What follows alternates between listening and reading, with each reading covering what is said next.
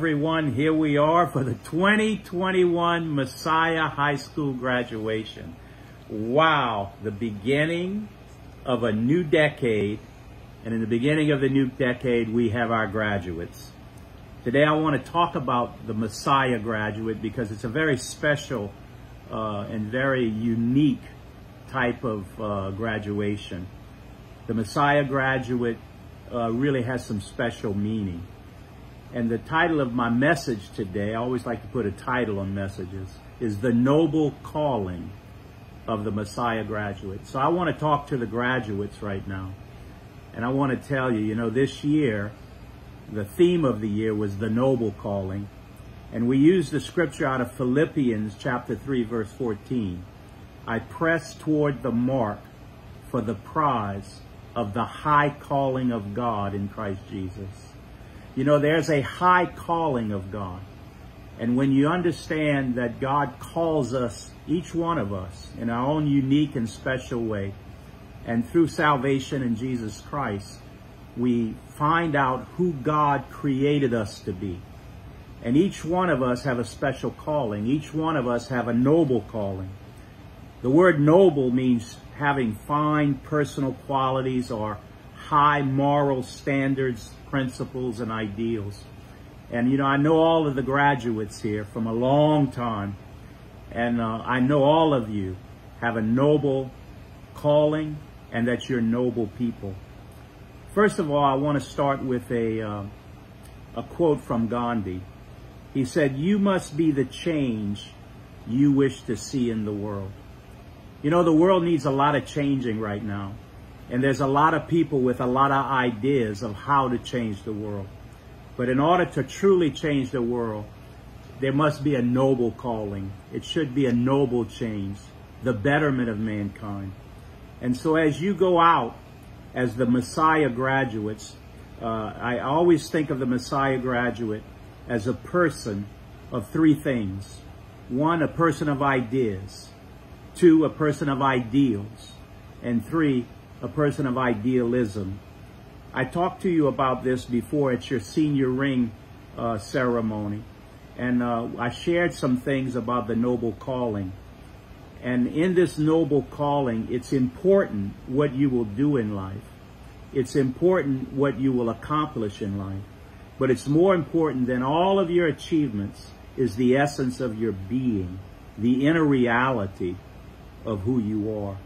And so when I start talking about the Messiah graduate, the ideas, let's start there first. Um, when we start started the Montessori method of teaching here in our Christian school, the purpose of the Montessori method was to be able to reach every unique individual.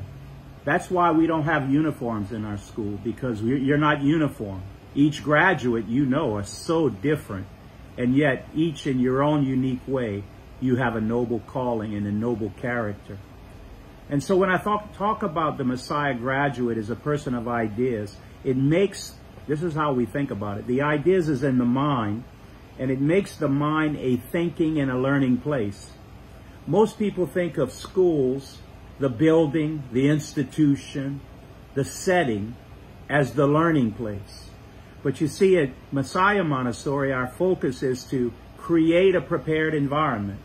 Yes, we have everything, all the materials, everything out so that the child can learn, so that you could learn. And as each one of you came through all the way from childhood, all the way through elementary, all the way through middle school, and now high school, that exterior prepared environment actually got you to a place of making your mind a thinking and a learning place.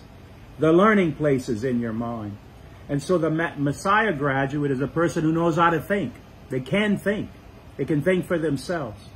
A person of ideas. Secondly, it's you're a person of ideals where you make the soul a beautiful and noble place. It's one thing to think.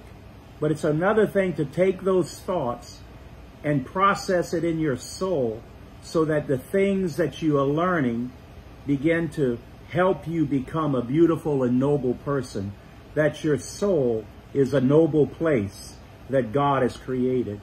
So the Messiah graduate is a person of the ideas, making the mind a thinking and learning place, ideals, making the soul a beautiful and noble place, and idealism. Idealism is where you really believe you can do anything. And if you know anything that I've taught you over the years, and I want to thank God I'm not only your principal, but I'm your teacher. I've taught you that you can do anything. That through Christ, you can do all things. And, and you can make the world a better place. I shared with you how God himself told me to start this school. And, and I remember when I started the school, so many people say, well, you can't do this, you can't do that. And I said, you know what? We can do anything. We can create a place of education where the children are the treasure. It's not just the treasure of some type of facility, but the children themselves are the treasure that we're developing along the way. And in idealism, you make the world a better place. We believe that you can change the world and make it a better place. And so today we talk about the noble calling of the Messiah graduate. The Messiah graduate these, with these ideas and ideals and idealism. And you take that and put on top of that the noble calling, that place where God has called you into the high place. I recognize that you are people, the graduates here, each one of you possess the potential and capacity of nobility and honor within each of you. Each of you possess something that has so much potential. And we believe that through these years at Messiah Montessori, you've learned how to develop that potential and apply it in your life. I want to share another quote. This time the quote is my quote. It says this, noble people of honorable character change the world around them, impact the people with whom they connect, and uphold a standard that raises the conscience of mankind so as to attain a higher sense of being. I want to say it again. It's three points in this quote that I have. Number one, noble people of honorable character change the world around them just by being who you are. Just by being a noble person of honorable character, you begin to change the world. You create a different atmosphere. You begin to prepare the environment around you. And so, when you have that noble character and you stand with this noble character, it changes the atmosphere. Secondly, noble people impact the people with whom they connect. When you come with honorable character, you begin to change the atmosphere around you and it impacts the people that you connect with. You know in your own selves that as the, the, the graduates and y'all began to interconnect, each one of you have had an impact on each other. And I've seen this impact for the good. I've seen how uh, this impact caused this one to, to grow a little more in this area and, and you, another one, caused another one to grow a little more in that area. And I want to thank God that you're taking this potential that you've developed in your lives and you bring it into the world. The third point is noble people uphold a standard that raises the conscience of mankind so as to attain a higher sense of being. You see, a lot of people go into the world and they have a lot of achievements and a lot of people are in the rat race. Well, I want to thank God that we're not rats and we're not racing what we're doing is we're being somebody. And as you go forth as the honorable people, changing the atmosphere, causing your character to impact the people that are around you, upholding a standard that raises the conscience of mankind around you, it causes a higher sense of being with everybody. Everybody you come into contact with, just because who you are it raises the consciousness of other people and it makes them realize maybe there's something in me now. And that calling that you have begins to call to them. I was once interviewed by some of the Messiah Montessori middle school students. They asked me, what is my favorite thing to teach students? And I said several things. Number one, to teach them to believe in themselves. Listen, I believe in you. You know, graduates, All these years I've spoken to you, I've shared with you, I've taught with you. And one of the great things that I, I know more than anything else, and you know it, I believe in you. And I also not only teach them to believe in themselves, but how to think, yes, I can. Yes, you can go out and change the world. You can be who God called you to be. Even in the face of no, when everything says no, you can't. I know that instilled in you is the reality that yes, I can. Another thing that I love to teach students is teaching them to do things for themselves so they can become independent people who are world changers, who are doing things while others say it cannot be done. I've seen you so many times when we've been having projects and doing things. It looked like maybe it couldn't be done. But we shared with you and taught you and encouraged you and created the atmosphere where you believed in yourself. And as you began to work together and impact each other, you began to realize, yes, we can. We can do it. We are independent thinkers who can change the world. And when everybody else says it cannot be done, I know you're the ones that are going to be able to say, I already did it. I also believe in teaching you and all the students to have faith in God. Why is that? Well, first of all, having faith in God reveals to you who you really are created to be in Christ. But secondly, when you face the impossible, you will face impossible situations in your life. But when you face the impossible, God himself can reveal to you who he is, his presence, with the reality that all things are possible to them that believe. And so I just want to thank God for all the graduates. I want to thank God for a noble calling that the the Messiah graduate is someone with ideas and ideals and idealism, a noble calling of who they are in Christ to raise the conscience of humanity around them. And when it's all said and done, you live your life after, after high school. You're going out into the world and that world needs to be changed. And you're the one that God is saying, you're the one that's going to change it. I want to share a couple of other things. Number one, first of all, the, the uh, Philip Montessori, the great grandson of Ma Ma uh, Maria Montessori, the founder of the Montessori Corporation, wrote to me one time, and he and we were talking about our early childhood teachers and assistants, and of course, our graduates have been through every level and he said, the children, this is what um, Philip Montessori said, the children are very fortunate to have such dedicated and devoted teachers. Not only have I been a teacher to you, but we've had some great teachers along the way. Many teachers, many assistant teachers, specialist teachers, staff members that are really administrators, but as they're administrators, they're teaching you along the way just through their interaction. And I want to thank God for all the teachers, and I want to be thankful, and I know you are too. All the teachers, all the assistants, all the staff members, all the administrators along the way that really have put Messiah Montessori together in such a way that you got the benefit of the gift that God has given you through Messiah Montessori School. Philip Montessori finally said this, it's selfless efforts, talking about the teachers, like this, that make Messiah Montessori School one of the best in America. An outstanding example of what a Montessori school should be.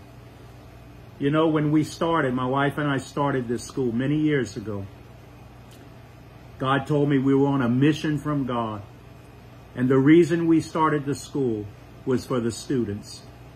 The reason we started the school was for you. And I've always said this, the only people that really belong in our school are the ones that really appreciate what we're doing because we're doing something very unique. We're taking children and not just stuffing information in them, but what we're doing is we're nurturing them. We're creating a home away from home that you grew up with us. My wife and I feel like we're were your grandparents as we're raising you along the way. And I want to thank God uh, that your parents appreciated our school. And I want to thank your parents and your grandparents and all the relatives that supported you along the way. Because it really took a, a, a family, not just your family, but the family of Messiah Montessori, working with your family, working with you to really raise you to become the person that you are today. We have wonderful Messiah graduates, our 2021 Noble Calling Messiah graduates. The first one, Bryce Fonseca. Bryce, you started with us at the age of two over at the Toddler Center. Can you imagine? You grew up before our eyes. You've been an active student who have been involved in every aspect of student life at Messiah, starting from a little kid and growing up, two-year-old, watching you grow along the way. You've always been ready and eager to do whatever necessary to help us get things done. Anytime I needed something done, I said, well, let's just go ask Bryce. And there you were to do it. If we needed something done, you were like Joseph in the Bible, who they described that he was the doer of it. If anything needed to be done, he was the doer of it. Joel, you have insight beyond your years into what is important in life. You started at Messiah at five years old in kindergarten.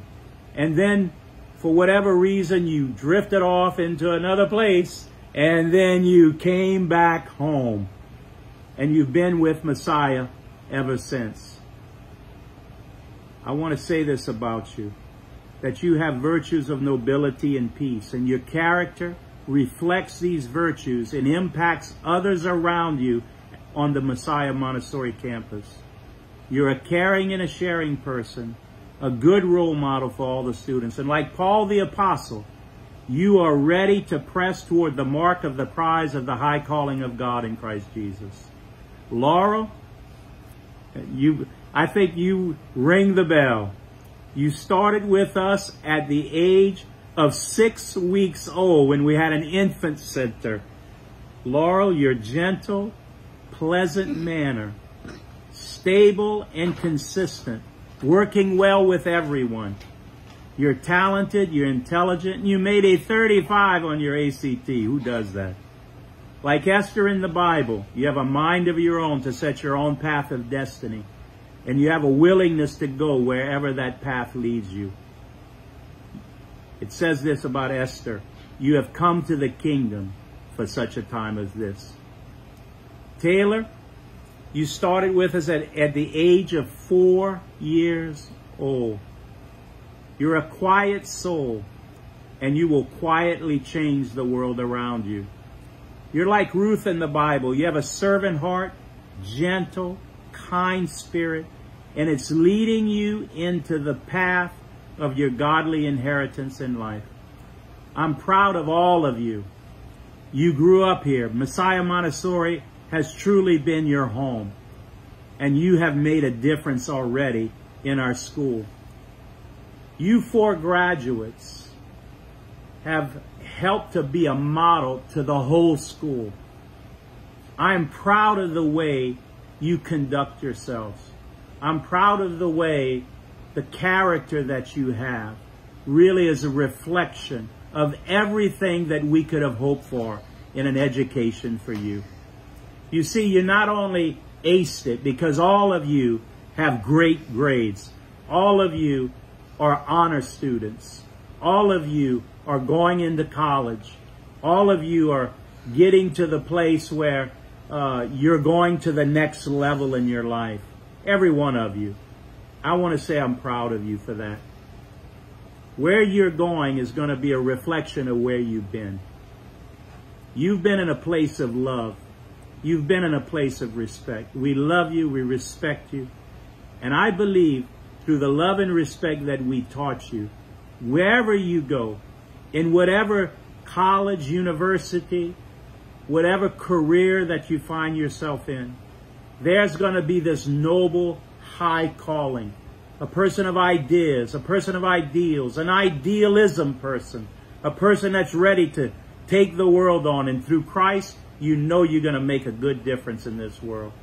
I'm proud of you. I call all of you our noble calling Messiah graduates of 2021. We love you. God bless you. And we thank God for you. God bless you.